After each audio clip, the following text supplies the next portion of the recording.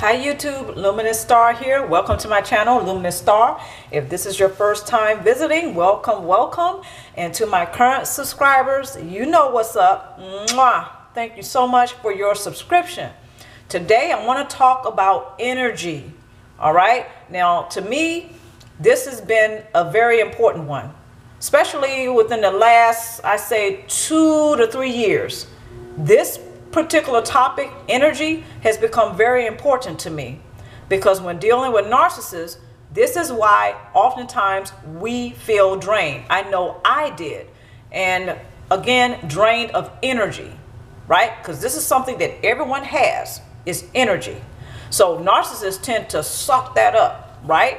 At least this is what we hear. Some of us have actually felt that we have experienced this when dealing with narcissists. So today I want to talk about energy and for me it's been a huge topic especially in the last I'm going to say about 3 years.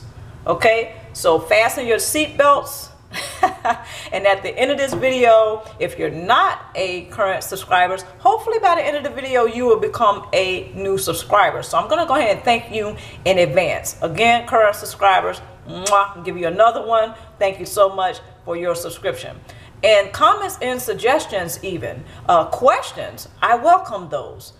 And i've noticed some of your comments and i want to go ahead and take out the time right now for those of you who have left awesome comments. Thank you so much. Mwah, mwah. give you a double kiss. All right guys i love the comments. Keep them coming. If you have questions feel free to ask. I will try my best to respond within 24 hours okay Guys, here we go. Energy. Now, I'm not going to give you a lesson on what energy is because I think most of you looking at this video, watching this video, you know what energy is. okay? So, energy, just realize that your body, right? Your body not only needs fuel like water, food, sleep, sex, so on and so on, it needs energy it functions and operates off of energy. And like I was saying, everybody has energy. Everybody has, you know, everybody embodies energy.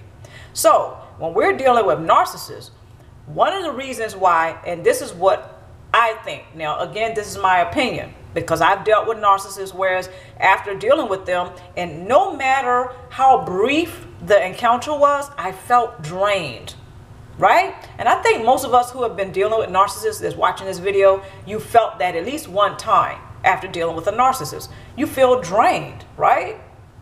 I know I did. But again, when I have dealt with narcissists, feeling drained, feeling tired, and you know, sometimes just feeling a heaviness. I felt those things. And this is why, is because energy. I have energy. The narcissist has energy. Everybody has energy. So when we interact with others, that energy is affected. Absolutely. And the encounter can be positive.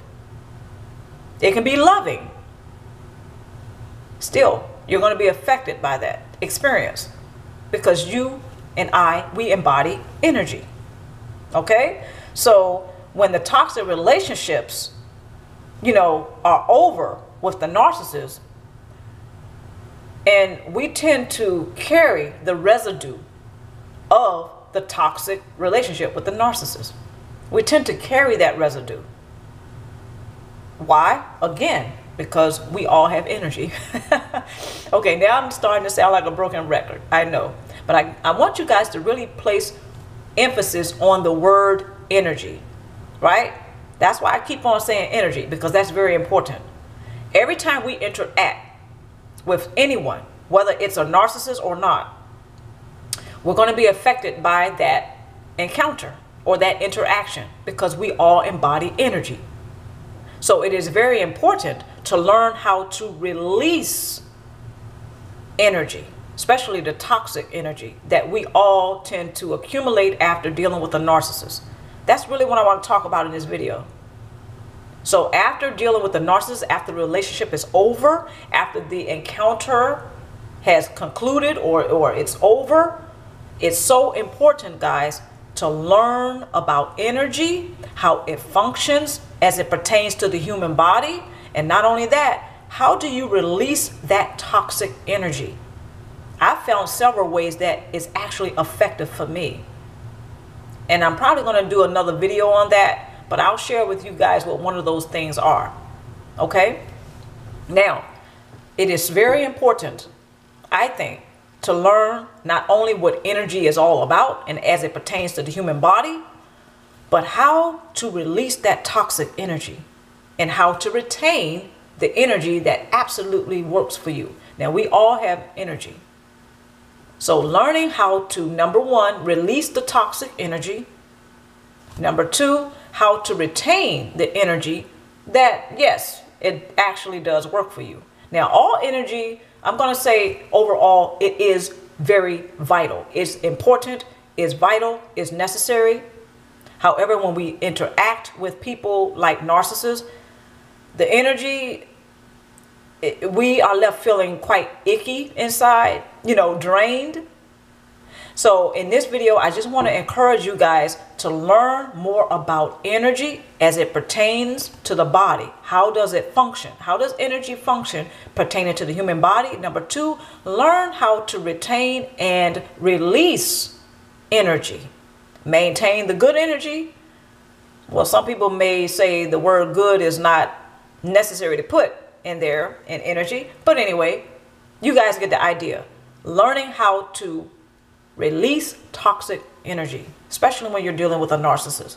It's very important because after every relationship we have, whether we are conscious to this or not, we retain the residue from that relationship.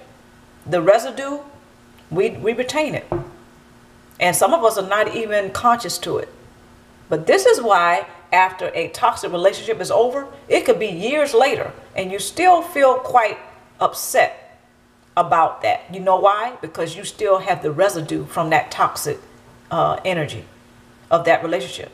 You still have the energy, the toxicity from that toxic relationship. You're still holding on to it, even though it's five years later. And that is where, again, energy comes in.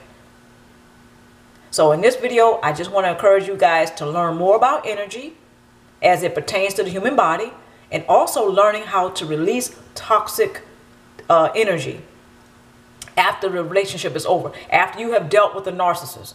It is so important as part of your healing, as part of your thriving, as part of your moving forward.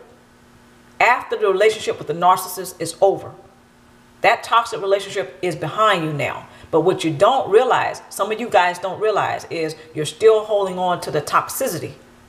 You're still holding on to the, the residue of that relationship because of energy. You're still holding on to that energy.